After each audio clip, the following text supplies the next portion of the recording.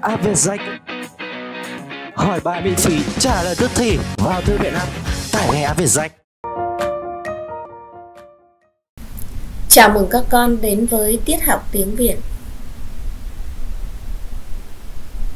Trước hết, các con hãy chuẩn bị đầy đủ sách học sinh, vở tập viết và đặc biệt chú ý theo dõi bài học nhé. Cô cùng các con hãy đến với phần 1 quan sát tranh và cho biết điểm khác nhau giữa chim và cá.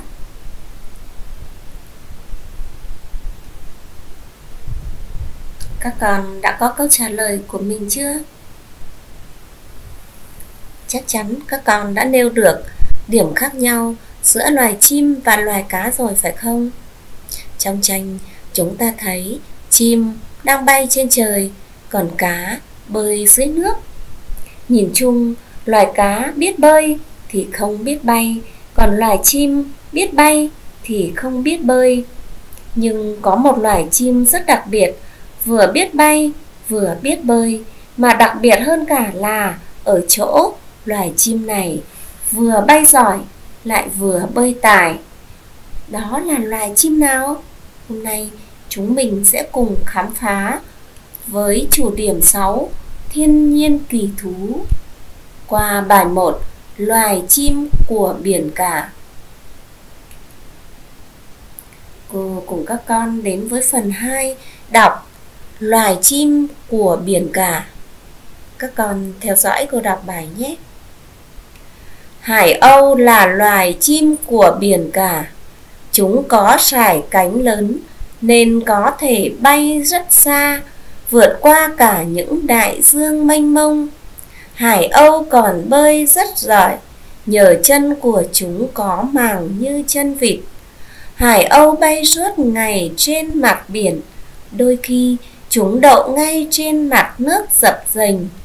Khi trời sắp có bão, chúng bay thành đàn tìm nơi trú ẩn. Vì vậy, hải âu còn được gọi là loài chim báo bão. Chúng cũng được coi là bạn của những người đi biển. Trung Nguyên Để giúp các con đọc tốt bài đọc, trước hết các con cần đọc đúng một số từ ngữ sau. Mời các con đọc các từ ngữ nào. Loài sải cánh dập dành trú ẩn. Khi đọc, các con cần lưu ý một số tiếng như thế nhé. Bây giờ, chúng mình hãy tìm xem trong bài đọc hôm nay có mấy câu.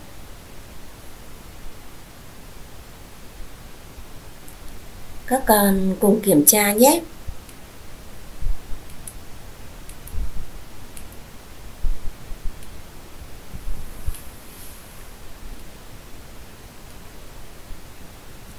Như vậy, bài đọc hôm nay gồm có 8 câu. Bây giờ, cô mời các con hãy lần lượt luyện đọc từng câu một nhé. Chúng mình luyện đọc câu một nào. Các con đọc tiếp câu 2.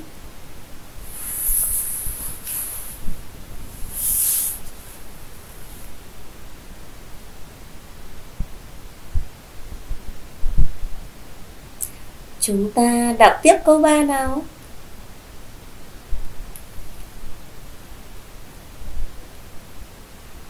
Chúng mình luyện đọc câu 4.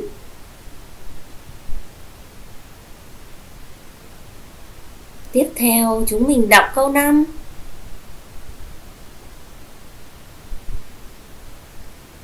Các con đọc câu 6 nhé.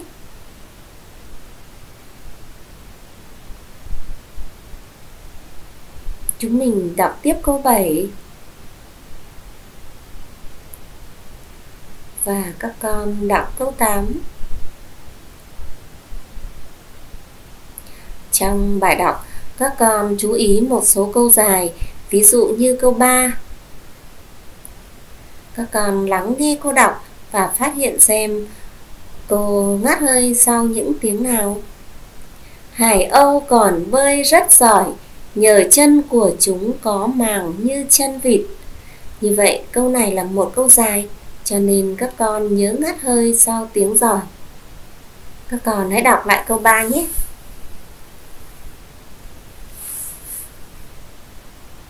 Vừa rồi các con đã luyện đọc được từ câu rồi. Bây giờ chúng mình đến với phần đọc đoạn.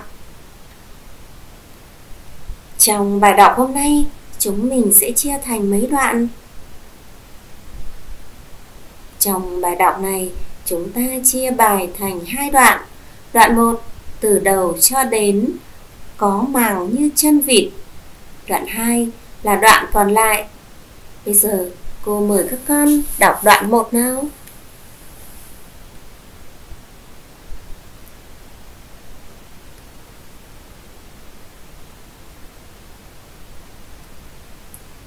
Các con đọc đoạn 2 nhé.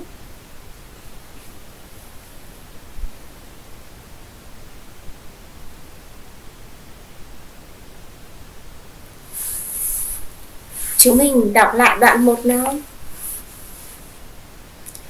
Trong đoạn 1, các con chú ý từ sải cánh. Sải cánh tức là độ dài của cánh.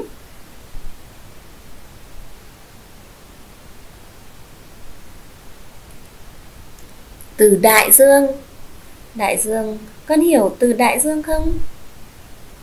Đại dương tức là biển lớn và các con chú ý từ màng màng ở đây có nghĩa là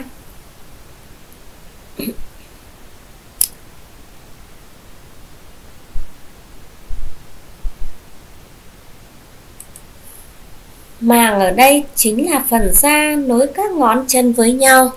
Đây chính là màng như chân vịt. Các con thấy chân vịt có phần màng, đó là cái phần da nối giữa các ngón chân với nhau giúp cho vịt bơi rất giỏi. Chúng ta đọc tiếp đoạn 2 nhé.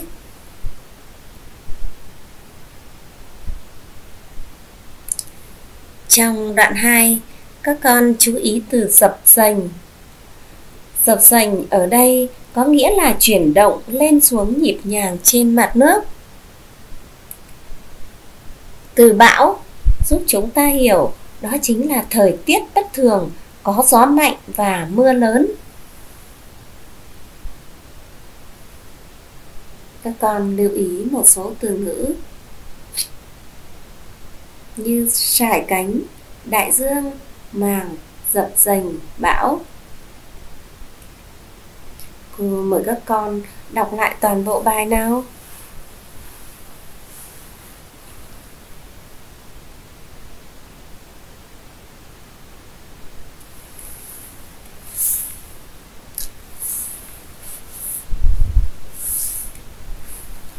Như vậy, chúng mình đã đọc được toàn bộ bài đọc rồi.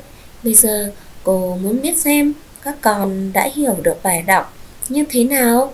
Chúng ta đến mục 3 trả lời câu hỏi. Chúng mình hãy đọc câu hỏi A. Hải Âu có thể bay xa như thế nào?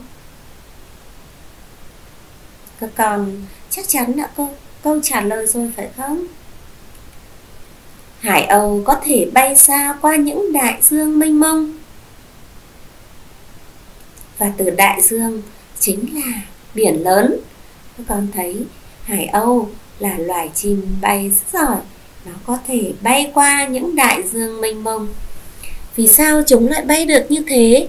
Bởi chúng có bộ cánh rất dài, nên chúng xài cánh bay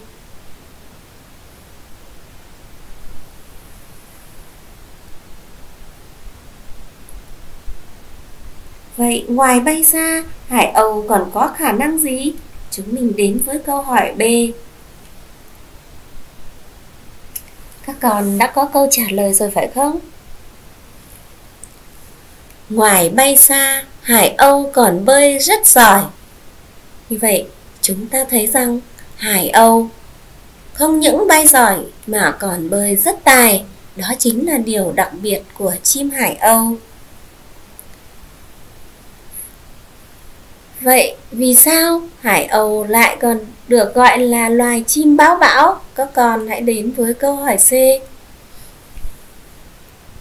Vì sao hải âu còn được gọi là loài chim báo bão?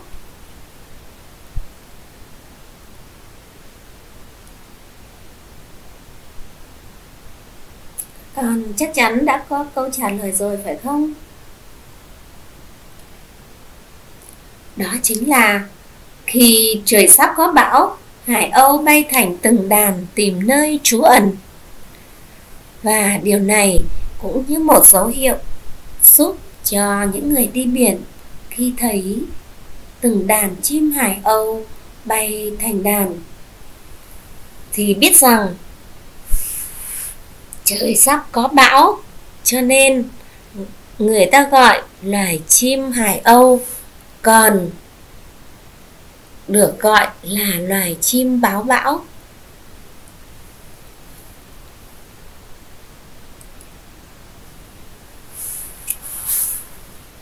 Các con hãy đọc thầm lại toàn bài một lần nữa. Và các con hãy nói xem, qua bài học này, các con nắm được gì? Con học được điều gì thú vị từ bài học này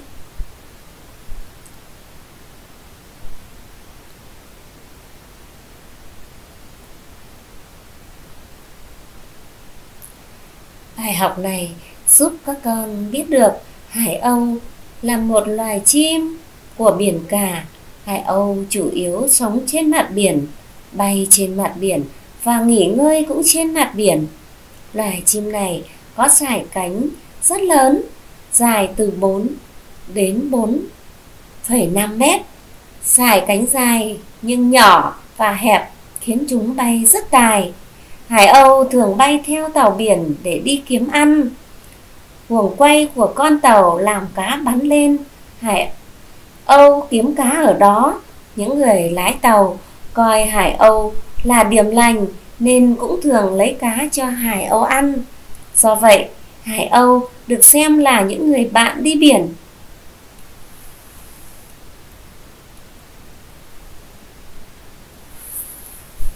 Chúng mình đến với phần 4. Viết vào vở câu trả lời cho câu hỏi A và B ở mục 3. Câu hỏi A, Hải Âu có thể bay Câu hỏi B. Ngoài bay xa Hải Âu còn. Các con đã có câu trả lời rồi. Bây giờ chúng mình hãy viết câu hoàn chỉnh vào vở của mình nhé. Hải Âu có thể bay. Qua những đại dương mênh mông và ngoài bay xa Hải Âu còn. Bơi rất giỏi. Các con hãy viết câu A và câu B ở mục 3 vào vở tập viết của mình. Các con lưu ý khi ngồi viết chúng mình hãy ngồi thật ngay ngắn và viết nắn nót để bài viết của mình thật đẹp nhé.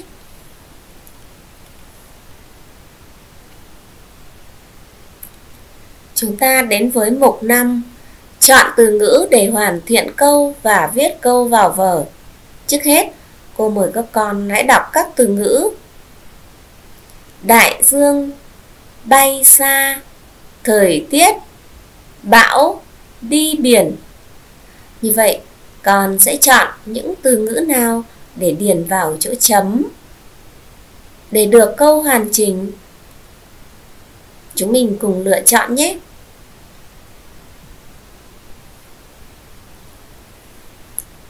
Ở câu A chúng mình lựa chọn từ ngữ. Bay xa. Ta đã được câu hoàn thiện rồi. Các con hãy đọc. Câu hoàn thiện của mình. Ít có loài chim nào có thể bay xa như hải âu? Ở câu b, chúng mình sẽ chọn. Từ ngữ đại dương. Các con hãy đọc câu hoàn thiện nhé những con tàu lớn có thể đi qua các đại dương như vậy chúng mình đã hoàn thành bài tập chọn từ ngữ để hoàn thiện câu rồi. Chúng ta đến với mục 6. Quan sát tranh và dùng từ ngữ trong khung để nói theo tranh. Trước hết, các con hãy đọc các từ ngữ trong khung. Hải Âu, máy bay, bay, cánh. Vậy, các con ở tranh một, các con thấy gì? Và chúng mình sẽ lựa chọn từ ngữ nào để nói?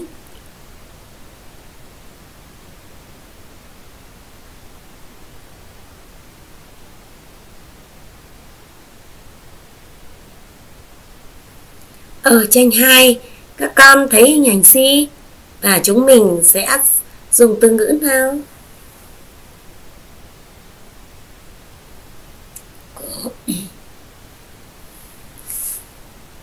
Các con hãy chia sẻ những suy nghĩ của mình nhé. Ở tranh 1, chúng mình thấy chim hải âu đang sải cánh bay và chúng ta có thể nói thành câu chim hải âu sải cánh bay. Còn tranh 2, chúng mình lại thấy đây là chiếc máy bay và ta có thể dùng từ máy bay. Máy bay bay trên bầu trời xanh thẳm. Hay các con có thể nói theo ý nghĩ của mình. Các con hãy chia sẻ những điều mình muốn nói nhé. Bây giờ chúng mình hãy đến với phần 7 nghe viết. Trước hết các con hãy đọc phần viết của mình. Hải âu là loài chim của biển cả. Chúng có sải cánh lớn nên bay rất xa. Chúng còn bơi rất giỏi nhờ chân có màng như chân vịt. Trước khi viết, các con lưu ý viết đúng các tiếng loài, biển, rất xa, màng, chân vịt. Chúng mình chú ý viết đúng một số tiếng nhé. Bây giờ các con hãy mở vở tập viết của mình và lắng nghe cô đọc và chúng mình viết bài chúng mình cùng viết bài nhé hải âu hải âu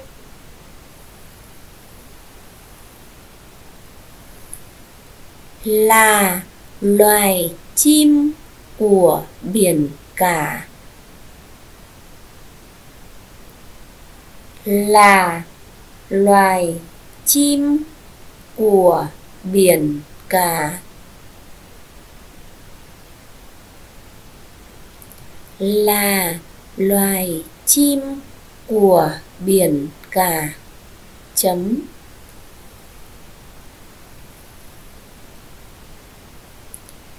Chúng có sải cánh lớn.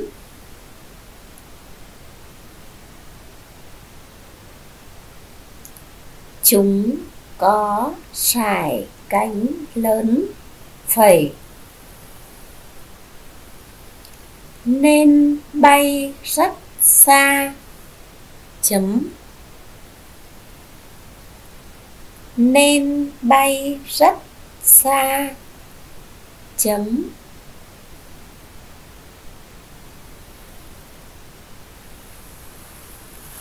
Chúng còn bơi rất giỏi.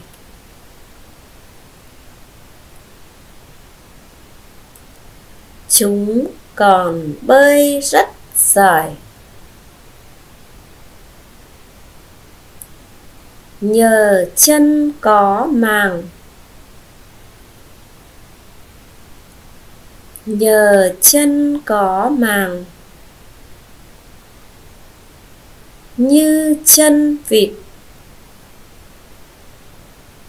Như chân vịt chấm. Như vậy, chúng mình đã hoàn thành bài viết rồi. Các con hãy kiểm tra và soát lại bài viết của mình nhé. Hải âu là loài chim của biển cả. Chấm chúng có sải cánh lớn, phẩy, nên bay rất xa, chấm, chúng còn bơi rất giỏi, nhờ chân có màng như chân vịt, chấm. Vậy, chúng mình đã hoàn thành bài viết và các con đến với mục 8 chọn vần phù hợp thay cho ô vuông. Ở ý A, chúng mình chọn vần ân hay vần quân thay cho các ô vuông. Ở ý B, chúng mình chọn vần im hay vần yêm thay cho các ô vuông. Bây giờ, chúng mình cùng lựa chọn nhé. Ở từ ngữ thứ nhất, ô vuông số 1 các con hãy chọn vần ân hay vần uân. Ở ô vuông thứ nhất, chúng mình chọn vần ân. Các con đọc lại từ ngữ nhé ở ô vuông thứ hai, chúng mình cũng chọn vần ân. Các con hãy đọc lại từ ngữ nào? Và ô vuông số 3 chúng mình sẽ chọn vần, quân. Như vậy, chúng mình đã lựa chọn đúng rồi. Các con hãy đọc lại các từ ngữ ở ý 3A đôi chân, gần gũi, huấn luyện. Ý B chọn vần im hay vần im chúng mình chọn vần cho ô vuông thứ nhất. Đó chính là vần im. Chúng mình đọc lại từ ngữ nhé. Ở ô vuông thứ hai, chúng mình sẽ chọn phần im các con hãy đọc lại từ ngữ nào? Và ô vuông thứ ba, chúng ta chọn vần im giờ, chúng mình đọc lại các từ ngữ ở ý b. Lim dim, quý hiếm, trái tim. Chúng mình đọc tất cả các từ ngữ đã tìm được. Đôi chân, gần gũi, huấn luyện. Lim dim, quý hiếm, trái tim. Như vậy, các con đã biết lựa chọn vần, thầy cho mỗi ô vuông phù hợp rồi chúng mình đến với mục 9 trao đổi, cần làm gì để bảo vệ các loài chim? Chúng mình thấy loài chim rất đẹp. Vậy chúng ta hãy trao đổi với nhau xem, chúng mình cần làm gì để bảo vệ các loài chim nhé. Các con hãy trao đổi ý kiến của mình với bố mẹ, với ông bà, với bạn bè của mình nhé.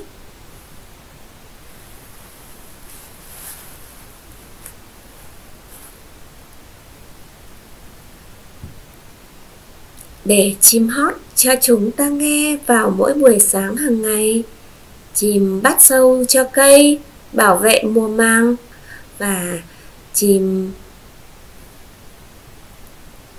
còn làm đẹp cho cuộc sống nữa. Vậy chúng ta không được bắn chim, không bắt chim và đặc biệt không phá tổ chim. Các con hãy chia sẻ thêm những suy nghĩ của mình về cách bảo vệ các loài chim nhé. Bài học hôm nay đến đây là kết thúc rồi. Cô chúc các con chăm ngoan học giỏi. Hẹn gặp lại các con trong giờ học sau. Khóa học về rách Sự lựa chọn của hàng triệu phụ huynh và học sinh Trải nghiệm ngay khóa học của Vietjet